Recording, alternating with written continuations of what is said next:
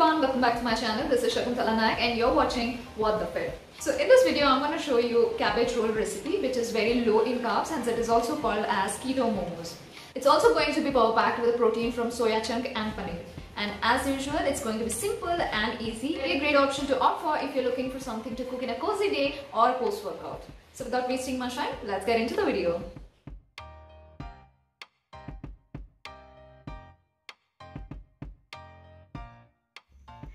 Take up a fresh round cabbage and remove the bottom hard part. That will make you easy to separate the leaf carefully.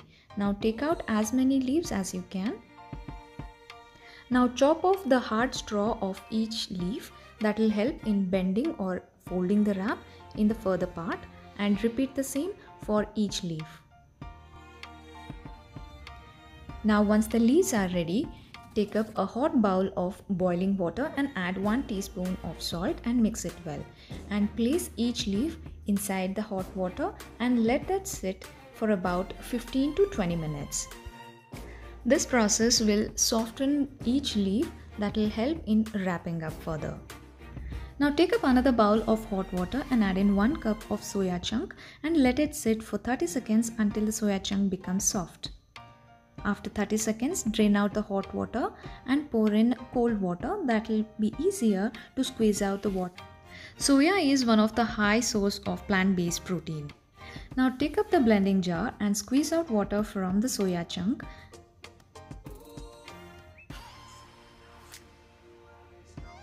And blend it coarsely and transfer it into the bowl. Now to the same bowl of soya chunk, add in 50 grams of grated paneer, half an onion finely chopped, 2 mushroom which is optional, 15 to 20 garlic cloves, finely chopped chili, some spring onion, some coriander leaves and drizzle in the juice of half a lemon. Add in salt as per taste, pepper powder as per taste and half a teaspoon of ginger garlic paste. Use your hands and mix all this very well. And the stuffing is ready. And by now the cabbage leaf must have softened. Check it very well and start adding the stuffing in each leaves. I have taken 1 teaspoon of stuffing in each and fold it as shown in the video. Now using a toothpick, tuck in the cabbage roll carefully.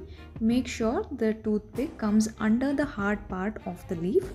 That's the perfect way. Repeat it for the rest of the leaves and that's the perfect look. Use a steamer if you have one or prepare one such as shown above.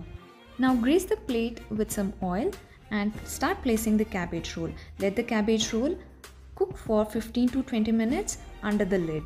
After 15 minutes, cabbage roll must have turned transparent. That is an indication that it's perfectly cooked. Now transfer them onto a plate and let them cool and enjoy it with the sauce of choice hope you like this recipe and if you do, please do try it out and let me know in the comment section below. And do not forget to like, share and subscribe. Press the bell icon with an all notifications so that you are updated with all my new videos. Till my next video, stay safe.